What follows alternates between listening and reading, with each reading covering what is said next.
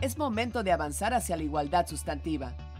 Efectivamente, de manera numérica, en la Cámara de Diputadas y Diputados tenemos absoluta paridad, 50-50%.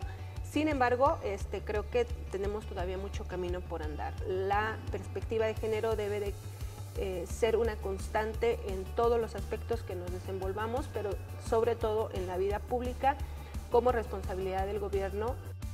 Las mujeres están cambiando las formas de hacer política. Súmate a Ellas Inciden.